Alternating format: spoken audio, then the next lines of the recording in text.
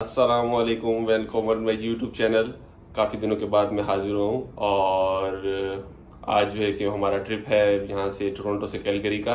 तो मैंने सोचा कि मैं सफ़र में जा रहा हूँ तो आपके साथ भी अपनी यादें शेयर करता चलूँ। ये दुआ खैर हो रही है जाने से पहले। ये कि उबर वाला आ गया बाहर।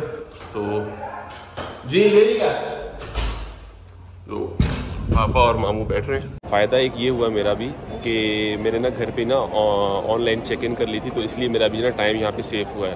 तो मैं अगर ऑनलाइन चेकिंग नहीं करता तो उसका ये हो, मुझे होता कि जो है ना यहाँ पे आके मुझे पहले चेकिंग करना पड़ता।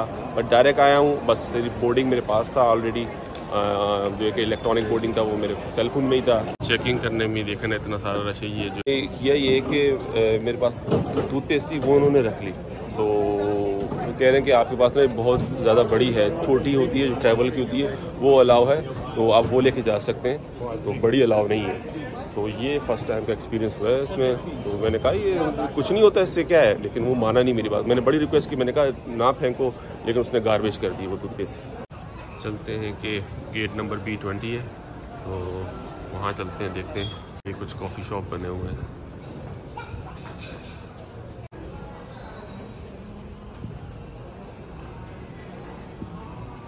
Hi, uh, I'm looking for a WestJet B20 gate. Go straight. Thank you so much. उन्होंने ना यहाँ पे एक चीज़ ये हुई है मेरे साथ कि हम डोमेस्टिक ट्रैवल कर रहे हैं और डोमेस्टिक ट्रैवल में इतनी सारी चेकिंग मतलब आपके मतलब कि आपको कहते हैं कि ये सारी चीज़ें वॉलेट निकालो बेल्ट उतारो और हर चीज़ जो है ना उसमें ट्रे में रखो मतलब अ नॉन सेंस इतना मतलब इतनी हार्डली चेकिंग हो रही है यहाँ पे भी। मतलब डोमेस्टिक में भी इतनी चेकिंग होती है, मैं इसकी एक्सपेक्टेशन नहीं कर सकता था कि हमको इंटरनेशनली ट्रेवल थोड़ी कर रहे हैं कि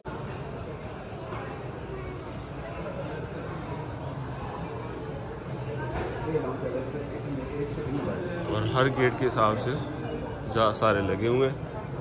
वैसे पापा चेकिंग बहुत बहुत स्ट्रिक्ट कर रहे हैं। बहुत स्ट्रिक्ट है चेकिंग गेट आ गया बी ट्वेंटी और जो है कि लोग यहाँ पे पहले से मौजूद हैं। काफ़ी रश लगा हुआ है। इन्हें जगह देख लो जहाँ पे बैठ जाए और अनाउंसमेंट का वेट करते हैं। लोग जो है ना रेडी हो गए और गेट नंबर जो पी ट्वेंटी है ना, इस पर भी जो है ना वैंकूवर वाले लोग जा रहे हैं। ये जहाज़ जो है ना, जो वैंकूवर की फ़्लाइट है, ये भी जहाज़ पुश बैक हो गया। तो इन इसके बाद जो है ना वेस्ट जेट आके यहाँ पर लगेगा। ये जहाज़ में अभी आ गए हैं अंदर और देन पीछे चलते हैं। और नाइनटीन नाइनटीन है ना? भाई ये है। चलो। हाँ? इधर रखो इस बैग इधर रख दो सारे। ये मा, मामू आराम से आराम से। ये मेरा भी रख दो।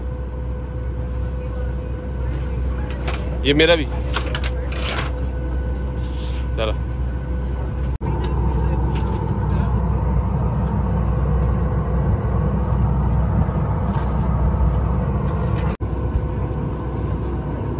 सफ़र जो है कि इसका तकरीबन चार घंटे और पंद्रह मिनट का है। और उस हिसाब से जो है सीटें जो है ना कंफर्टेबल मेरे हिसाब से तो नहीं है, क्योंकि जहाज़ छोटा है।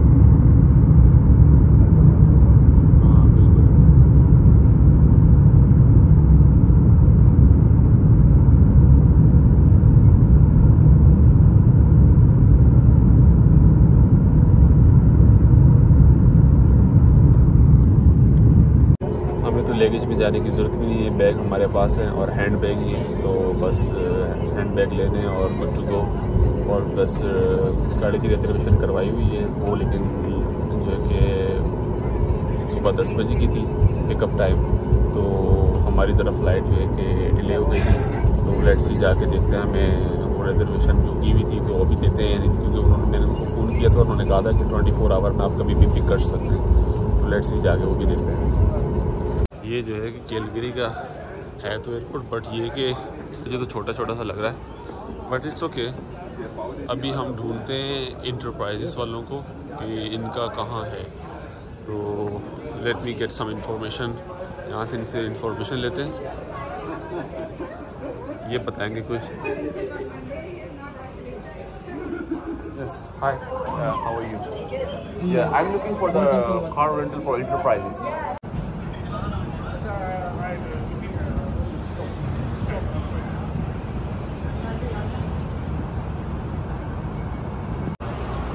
ठीक ये हम लोग बाहर आ गए अभी और बट सी अभी जो है ना आ, मुझे जो है ना इंटरप्राइजेस ढूंढना है। इंटरप्राइजेस कहाँ होगा? अच्छा कार रेंटल ये नज़र आ गया।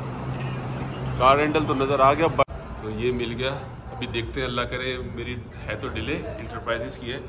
अभी चलते हैं इंटरप्राइजेस पे।